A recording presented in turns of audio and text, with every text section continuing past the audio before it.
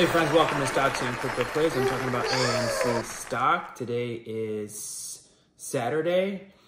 Um, so basically what I want to point out right now, as of today, Saturday, MarketWatch has the market cap of AMC stock listed at 7.3 billion.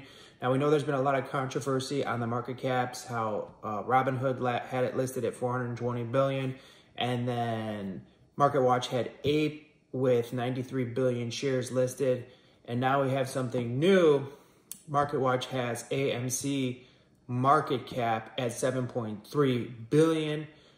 So what does that mean, friends? Hit like, subscribe, add notifications, share the video with a friend. So what does that mean, friends? That means that technically, if they're saying that's the market cap, it, it means one of two things potentially.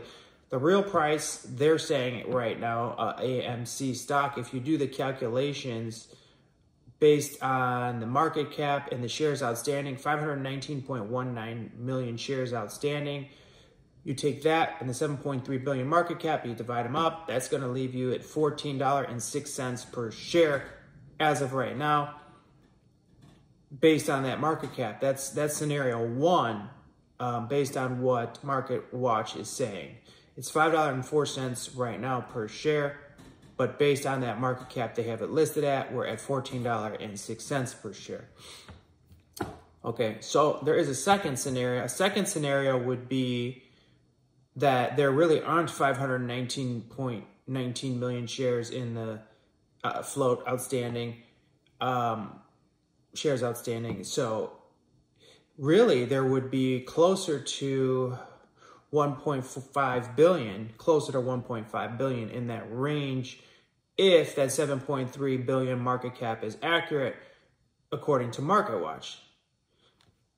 Which would explain a lot, which would explain synthetics, would it would explain to you how they can lower the price just by snapping their fingers without any sell orders.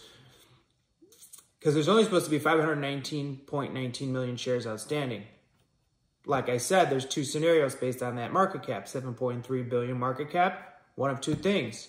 Real share price is $14.06 per share, or there's 1.5 billion shares of AMC outstanding. Now, if that market cap's not accurate, why do they have it listed like that? It's been that way since early Friday. Is Adam Aron and his hedge fund buddies going to get on the phone again and make them change it?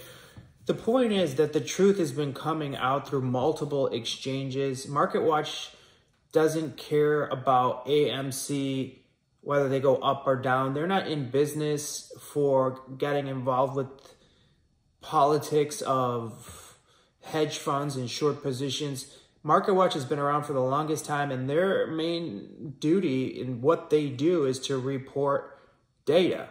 That's what they do. They report data and statistics. They're not in the business of falsifying information. Now, if a powerful person calls them and gets them on the phone or comes visits their leadership and they say, hey, I know you have the right numbers, but we need you to change it to X, Y, and Z. And if you don't do it, we're going to do X, Y, and Z. Maybe they listen and maybe they changed it. And Maybe that's how they got them to change APE. Because they had APE listed at 93 billion shares outstanding. It was that way for about four days and then they changed it. And Adam Aron himself said he was angry and he was going to use swear words and he was going to get them on the phone. But maybe it wasn't him on the phone. Maybe it was his hedge funds buddies and those power players behind the scenes. And, you know, it's just a long, twisted thing. But look it up right now. Go on marketwatch.com. I encourage you to do it yourself. Take a look at the market cap of AMC stock. And then look on your broker. It's going to be less. Go on Robinhood, go on Webull, go on TD Ameritrade, and you're, you're going to see it's a lot less. It's probably some in the range of 2 billion-ish. You know, 2.2 billion. So why does MarketWatch have it listed this way? I know why. You know why. The truth is coming out. So here we are. We're, we're in April. Today's April 1st. The court hearing is, I think, April 27th in that range. I'm just going by memory. I just know it's right around that range. Um, be ready, friends, because if she votes that APE's illegal, it's going to shock the world. We're going to see a massive short squeeze MOAS of AMC stock. and hopefully we'll have time to get out of Ape. Um, I'm also hoping too that somehow we get some kind of class action settlement for owning Ape the way they did us dirty from the beginning with Ape and they forced it on us and all that. But that's just a hope. But our main play is AMC. We're all, we're all looking for the AMC short squeeze, right? Hit like, subscribe, and notifications. Share the video with a friend. Comment some.